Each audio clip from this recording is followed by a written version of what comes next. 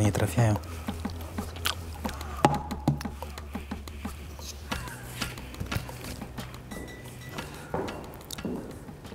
Dzień dobry. Dzień dobry. W czym mogę panu pomóc? Proszę pana.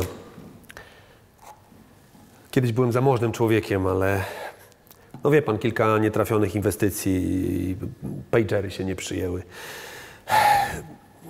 Straciłem sporo pieniędzy, poszedłem w hazard.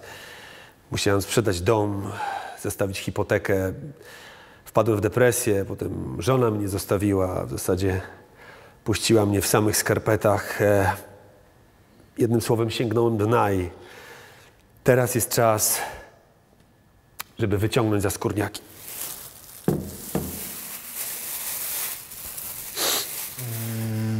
Ale y, co, co to jest?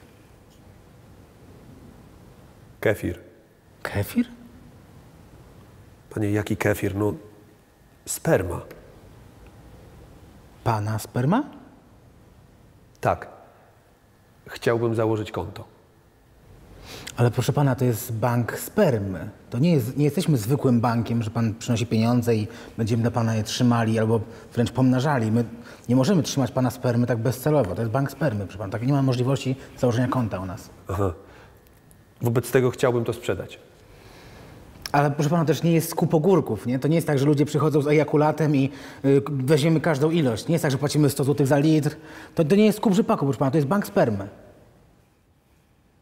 Chce mi pan powiedzieć, że ja codziennie przez 8 lat waliłem konia do tego słoika bez sensu? No, ni- niestety tak. Jezu.